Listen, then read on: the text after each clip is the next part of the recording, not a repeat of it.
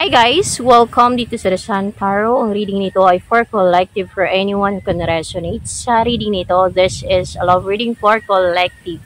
So let's get your energy para sa collective or para sa pangkalahatan.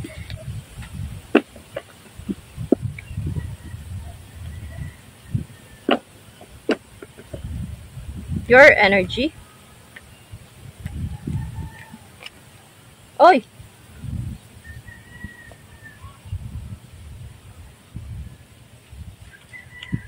You feel disappointed. With the Four of Cups, parang na-disappoint ka na na-disappoint ka sa person mo, na-disappoint ka sa sarili mo, and you feel na parang you're restricting yourself, kumbaga may pagpipigil ka sa sarili mo dito or parang uh, you're parang uh, you're not making a move, no? Na pwede ka namang uh, makawala or pwede ka namang mag-take ng action or tanggalin mo yung mga naglilimit sa'yo. I mean, yung mga pwede ka namang magkaroon ng freedom to do what you want or to make action towards that person. Pero parang uh, nilalagyan mo ng ano yung sarili mo, nilalagyan mo ng bakod, no? And parang nabubulag-bulagan ka, you feel disappointed sa situation nyo, or sa sarili mo, na parang you're not making a move, na feeling trapped ka, may mga reasons yan, bakit, kung bakit ganun ka dito. And, uh, let's clarify the Eight of Swords. Clarification of the Eight of Swords. Bakit feeling trapped? Ano to? Ah, oh, yun nga sabi ko eh. Sorry, ikaw lang mismo yung nag-ano dito eh. Yung nakukuha ko energy. Ikaw lang mismo yung uh, ayaw umalis sa kung saan ka. Ikaw yung mismo nagre-restrict sa sarili mo, pumipigil na parang kahit masakit, kahit na uh, hindi ka masaya. I mean, kahit hindi ka masaya, no? Sa kung saan ka ngayon na dahil uh, pinipigilan mo yung sarili mo, parang nilalagyan mo ng uh, fence yung sarili mo na hindi ka pwedeng umalis doon, hindi ka pwedeng mag-take ng action, ng move, na parang uh, tinatali mo yung sarili mo na no, I will not make action, I will not take action, parang ganun ka dito. With the Hermit card, ay nagiging aloof ka, no? Maliban doon sa kanina i-feel trap or parang tinatrap mo yung sarili mo, no? Sa cage, parang ganun. Nilalagyan mo ng cage yung sarili mo, kumbaga ganun, ganun ka. Kumbaga, nagpapabulag-bulagan ka din, pati, no, sa situation. Ay, nagano ka dito eh, na ina-isolate mo yung sarili mo. Ina-isolate mo yung sarili mo. Uh, ayaw mo kasapin yung person mo, ginuboosting mo. And we have here the chariot card ayaw mo kipag-usap sa kanya, ayaw mag-reach out, ayaw mo, ay, kumbaga, nagiging aloof ka. Kumbaga, parang naging cold yung, uh, yung treatment mo sa person mo dito. So, we have here this chariot card na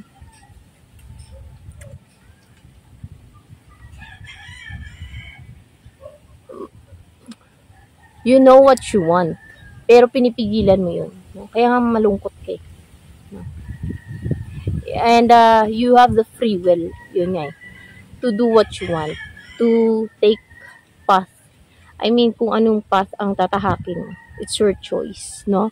So with the chariot card ikaw yung may direct kasi ng buhay mo walang ibang tao na magde-direct ng buhay mo. I mean uh, ikaw yung may control ng buhay mo. Ikaw yung nag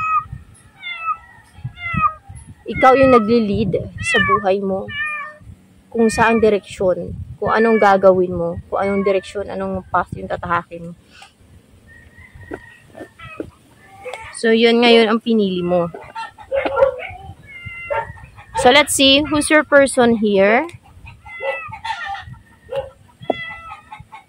Ah, this is a person from afar, afar. Malayo sa'yo. LDR? Itong person mo ay victorious over sa mga enemies niya, over rivals, or kaya ay sa buhay, no, sa mga pangarap niya, nagtagumpay siya. This person ay uh, nagwagi, no, sa battle, sa uh, sa buhay, no, sa possible sa mga enemies niya. Kasi sa mundo to madaming uh, ano, uh, madaming tao na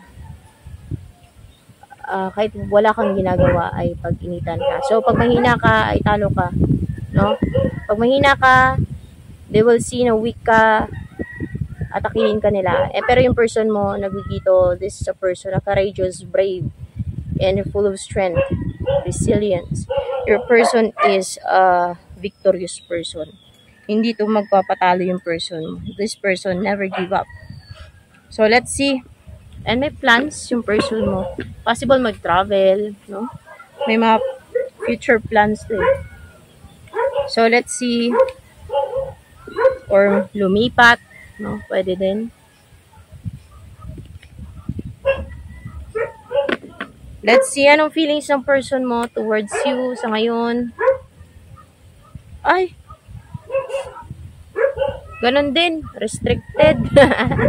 Pareho kayong dalawa guys na nagpipigil sa sarili nyo no, parang nilalagay yung sa hula yung sarili nyo. May fear kayo, no? Sa isa't isa for sure.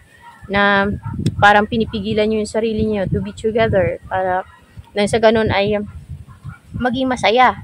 Maging masaya kayo. Parang may blockages, no? May dahilan, may may uh,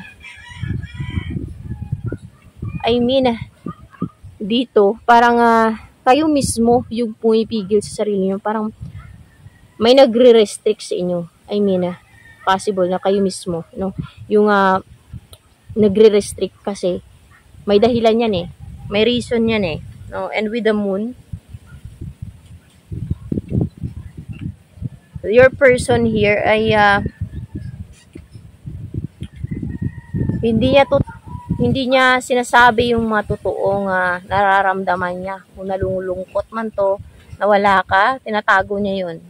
No? Na parang uh, wala siyang kalayaan, na parang hindi siya masaya sa kung saan siya ngayon. Hindi niya sinasabi yun sa'yo. No? May mga hinahide yung person mo dito with the moon card. And with the moon, emotional yung person mo sa'yo.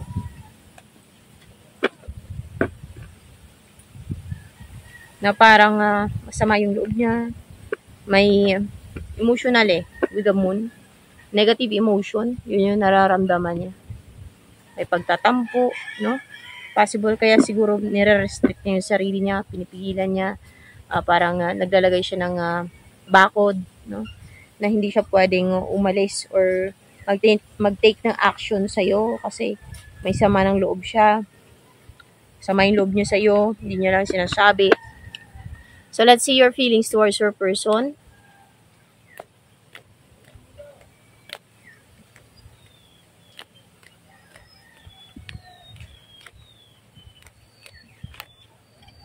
Oh, the devil card, oh. The devil the devil and the high priestess. Feeling mo, you're obsessed sa person na to. And feeling mo ngayon itong person na to ay and ikaw ay spiritually connected. More on a spiritual level, in a soul level na to the extreme with this uh, devil card. Yun yung feelings mo sa kanya. Extreme obsession na parang uh, wala kang ibang pupuntahan, parang ganun ka, kundi sa akin lamang. With the devil card and the high priestess. Kasi um, you're trying to control. Um, naring uh, yung mga mangyayari sa inyong dalawa na walang ibang pupuntahan yung person mo kundi sa'yo lang. Kasi spiritually connected kayong dalawa. Parang may belief ka dito na um, weird beliefs to extreme with this person. And feeling mo yung person mo with the high priestess ay um, about sa personality niya ay intuitive to na nasi-sense nyo Nasisense mo yung energy niya, nasisense niya yung energy mo, no? Extreme desire, yun yung feelings mo. Extreme desire, passion sa person mo. With the devil card, na you are connected uh, in a, intuitively, no? Nafe-feel nyo yung energy ng isa't isa dito eh. Yun yung feelings mo talaga sa person.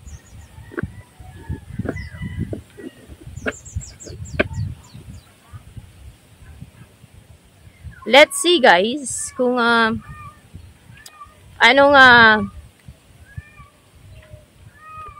nais mangyari ng person mo na to sa inyong dalawa. New beginning, the Hierophant, marriage. Kahit sa anong religion pa yan, no? Kahit sa relihiyon mo pa. With this Ace of Cups, ay new beginning to offer this cup of love na never ending love na uh, panghabang buhay na, na ka niya. Yung kumbaga magbabaw kayong dalawa. Na magsasama kayo forever with the Hierophant dito is marriage. Makasal kayo maging legal. Uh, makasal kayo mismo sa simbahan or sa sa pari, no? Ano ano ba 'yan? Pagka ano, pagka sa Katoliko, di sa pari, no? Eh pag sa ibang lahi, ibang relihiyon, hindi kung ano-ano man yung uh, ano nila, yung pamaraan nila, no? So, we have here this Ace of Cups na kumbaga, yung uh,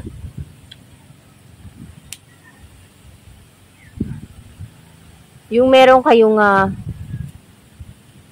loves isa't isa na hindi nawawala. Yung, yun yung gusto niya dito na it will never end. to love you forever. Yun. Na mahalin mo din siya forever. So, let's see kung anong gusto mong mangyari sa inyo ng person mo. Ay, ano ba yan? Layo.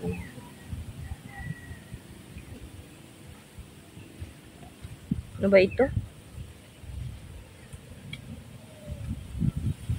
Mm meron tayo ditong 5 of wands. Okay. Ipaglaban ka ng person mo. Yun yung gusto mo dito. Or ipaglaban nyo yung isa't isa. No? To have a new beginning. No? Na maging uh, stable na yung inyong uh, connection, relationship na kailangan yung ipaglaban. Na mukhang kailangan na may ipaglaban dito. Yun yung uh, gusto mangyari. Ipaglaban ka ng person mo ipaglaban mo din yung person mo. Possible na ipaglaban ka ng person mo. No? And we have here this page of Pentacles to have a stable new beginning. Na mag-offer tong person mo ng stable new beginning sa inyong dalawa and uh, gusto mo talaga ng stability. No? With the Emperor, yung um, you will feel secured sa connection nyo when it comes sa relationship.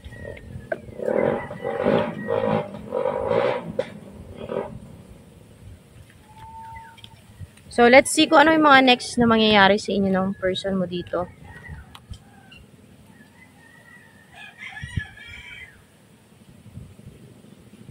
Okay.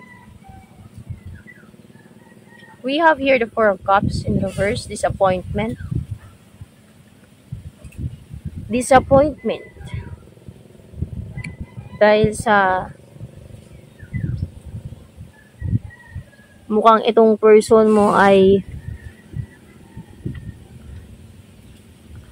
parang ang gusto ay gulo no baka awayin ka yung next mangy na mangyayari dito and then kumbaga awayin ka suyuin ka with the knight of cups din no awayin ka suyuin ka ganyan yung person merong ganyang person guys na away bati, away bati, no? Pero kadalasan ay tumatagal naman. Ganyan yung sa tiyahin ko siya sa asawa niya. No? Away bati, matindi mag-away pero maya-maya bati na naman sila. So, ganyan.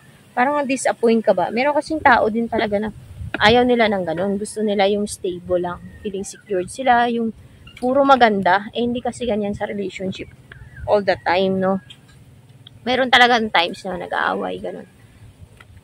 So, let's see more ano, mga mangyayari. Ano mga mangyayari next sa inyo ng person mo. Next na mangyayari. Hmm.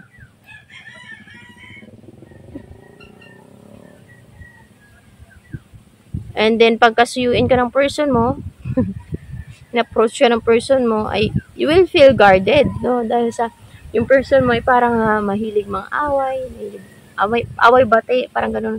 Okay, pag, kumbaga, awayin ka niya, then, uh, susuyuin ka niya, ganyan yung person mo. You will feel guarded. More na mangyayari sa inyo soon. Soon kasi ito guys na mangyayari, hindi naman outcome yun. Outcome, uh, hindi mo masabi, no? Paano ma, kung Kumbaga yung outcome kasi, yung possible outcome kasi nga, possible outcome, di ba? Mga soon na lang na mangyayari. Ano pa? Okay. Death card in reverse. So, possible na maging masaya din kayo together. And yung possible dito is uh, mabalik yung uh, peace sa inyong dalawa. No? Kasi parang nagiging cold, parang namatay, namamatay yung uh, feelings mo sa person mo, yung, yung, um, yung connection nyo dahil sa ganun yung person mo away, bati awayin ka niya, uh, possible na inisin ka niya, and then, uh, magsusuyuin ka na naman, may ganyan. Kasi, may ganyang tao eh, no? Pero, parang, uh, may thrill nga pagka ganyan yung relationship, di ba? Mga ganyan. Pero may tao kasi ayaw ng ganyan. So, ganyan ka, ayaw mo ng ganyan. Gusto mo yung stable lang, secured, you will feel secured. So, we have here this 10 of uh, cups na mamuhay kayo, mamuhay kayo ng stable. No? Mamuhay din kayo ng stable as you wish. Kung ano yung nais mo. And uh, peaceful. No? Yun kasi yung gusto mo eh. Peaceful, stable. No? And mag possible dito, yung mga next na mangyari, magkaanak kayo, you will be together, you will be happy together, no? Natural na pagsasama, no? Bilang uh, mag-partner na, yung ganun ba, no? And uh, living a life na yung life na winish mo dati? Or wini-wish mo ay yun na yung magiging buhay mo with this person. Yung this is a wish fulfillment card guys you know so you will be happy living a peaceful life full of happiness with this person. So ito na lamang guys for collective reading. Sa mga baguhan po dito sa aking channel, please to subscribe at huwag po ninyong kalimutang i-click ang bell button. And sa ganun ma-notify kayo sa mga sunod na videos na i-upload ko. At paki-like naman to at paki-comment na din sa ating comment section box lalo na sa mga nakaresonate sa reading nito.